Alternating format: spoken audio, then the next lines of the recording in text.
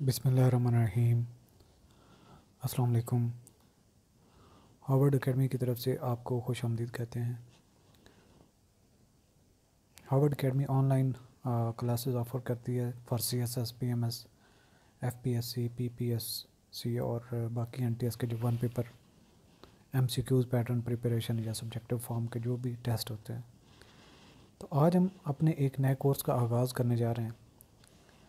और सबसे पहले इस कोर्स के बारे में इंट्रोडक्शन आपको दे देते हैं।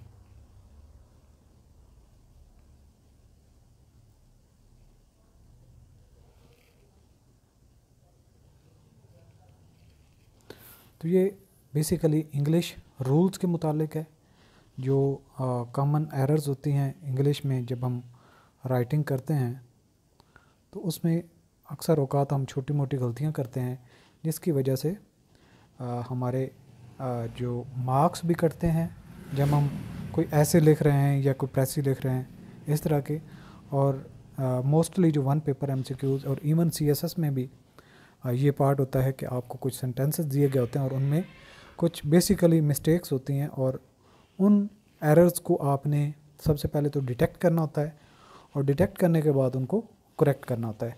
तो इस पार्ट को हम ये कह सकते हैं कि common errors and their corrections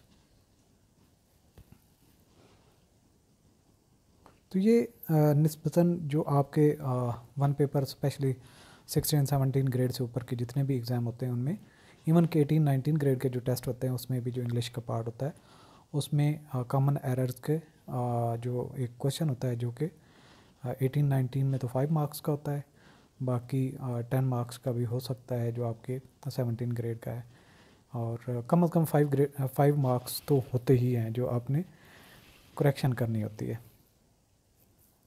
तो सबसे पहले जो हमारा हमारा ये पार्ट होगा, इसमें हम पहले तो गोल्डन रूल्स जो हैं, उन पे बात करेंगे।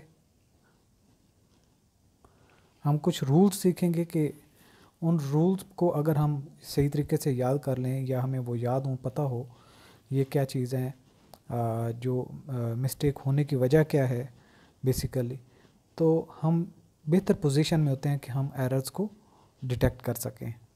और उसके बाद हम जितनी भी आपके प्रोनाउंस हैं नाउन्स हैं वर्ब्स हैं या फिर एडजेक्टिव एडवर्ब और कंजक्शन में कॉमन एरर्स होती हैं, उनकी हम वाइड रेंज पे प्रैक्टिस भी करेंगे।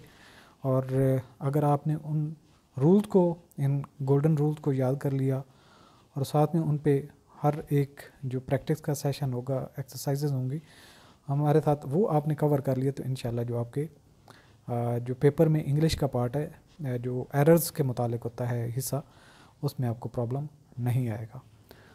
तो जितने भी एग्ज़ाम होते हैं डायरेक्टली इनडायरेक्टली किसी न किसी तरीके से इंग्लिश के क्वेश्चन हमें पूछे ही जाते हैं और इंग्लिश हमें प्रॉब्लम इसलिए होता है कि ये हमारे लिए सेकंड लैंग्वेज है और हम दूसरे नंबर पे इस पर इतना फोकस भी कर, नहीं करते और इवन के हमें जो इंतहाई बेसिक लेवल की चीज़ें हैं लाइक टेंसेज हैं एक्टिव पैसिव पार्ट स्पीच और वॉइस जो है नरेशंस जो हैं, इनमें कोई ना कोई हमें प्रॉब्लम रहता है। हम इन पे एग्ज़ाम के लिए तो ज़रूर सीख लेते हैं, लेकिन बाद में इनकी प्रैक्टिकल इनकी एप्लीकेशन भी कोई नहीं होती और उसके बाद हम इनको बार बार याद भी नहीं करते। सिवाय उन लोगों के जो प्रोफेशनली इस फ़ील्ड के साथ अटैच हों, यानी कि टीचिंग के शोबा के साथ, और वो भी इंग्लिश के टीचर्स तो जो एरर्स होती हैं इंग्लिश की, इसी पे हमने बात करनी है और ये नाउन की एरर हो सकती हैं प्रोनाउंस की हो सकती हैं वर्ब की हो सकती हैं, या फिर एडजेक्टिव की भी हो सकती हैं। तो हमने इन रूल को सबसे पहले याद करने की कोशिश करनी है। तो ये तकरीबन हमारे पहले सेशन में थर्टी एट रूल्स होंगे जो आपने याद करनी है। इसके अलावा भी हमें कुछ एडिशनल जो पॉइंट्स होंगे, वो हम, वो भी वक्ता फ़वक्ता हम आपको बताएँगे। लेकिन बेसिकली इस सेशन में जो हम शुरू में जो स्टार्ट करने जा रहे हैं, ये थर्टी एट रूल्स हैं। और उसके आज हम दो रूल्स सीखेंगे।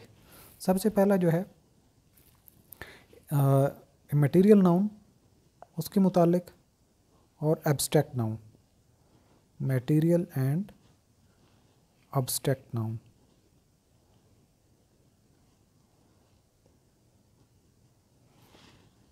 तो जब भी कभी, और सबसे पहले मटेरियल नाउन की अगर बात करें हम ये कौन से होते हैं? लाइक like, जिस चीज़ की फ़िज़िकल एग्जिस्टेंस हो यानी कि जो जिसकी मटेरियल मौजूद हो जिसको आप देख सकते हो छू सकते हो तो उसको मटेरियल नाउन कहते हैं। उसकी आगे आपको टाइप्स गोल्ड लाइक स्टील ये एक मादे का नाम है। वुड ये भी आप देख सकते हैं। वाटर इनकी फ़िज़िकल एग्जिस्टेंस मौजूद है। Silver and etcetera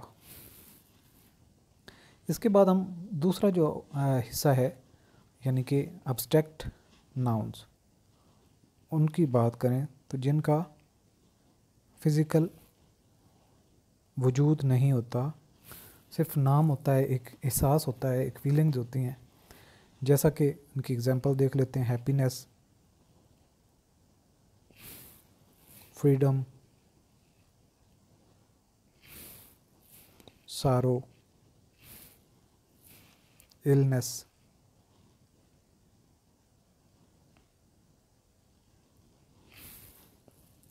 friendship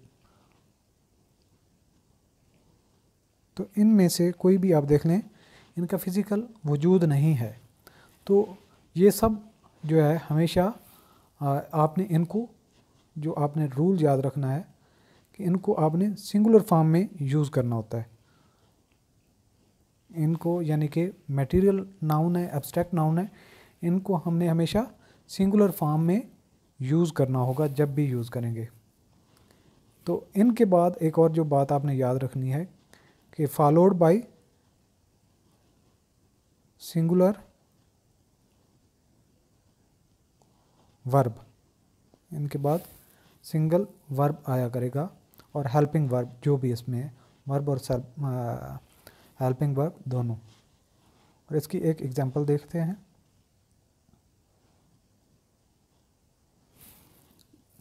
Gold is getting expensive day by day तो हमारे पास यहाँ पे गोल्ड मटेरियल नाउन है। मटेरियल नाउन है। Gold is getting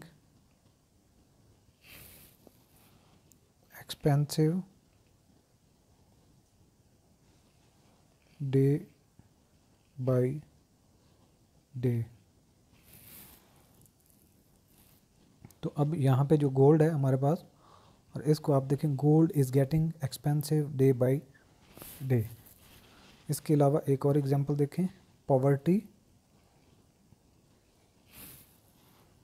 is just a state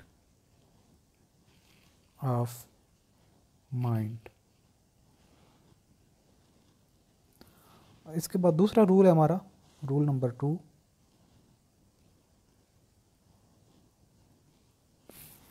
इसमें है हाइफिनेटेड नाउन्स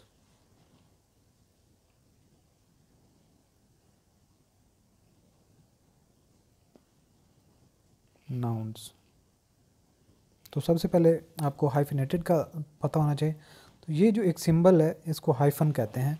यानी कि ऐसे नाउन जिनके अंदर हाइफन यूज़ किया गया हो, उनको आप हाइफिनेटेड नाउन्स कहते हैं। इनकी कुछ एग्जांपल देख लेते हैं, यानी कि जो हाइफिनेटेड नाउन्स कौन कौन से होते हैं? Six pack five year old five year old. Son in law तो ये सारे के सारे क्या है हमारे पास? हाइफिनेटेड नाउन्स है। Are never return in plural form तो यानी भी ये never return in plural form तो ये सिंगल ही होते हैं। तो आपने ये याद रखना है, ये रूल जो है जो हाइफिनेटेड नाउन्स होते हैं, ये हमेशा सिंगुलर होते हैं, यानी कि नेवर प्लूरल फॉर्म इसकी एग्जांपल एक दो देखते हैं। The A T M was not delivering the A T M was not delivering.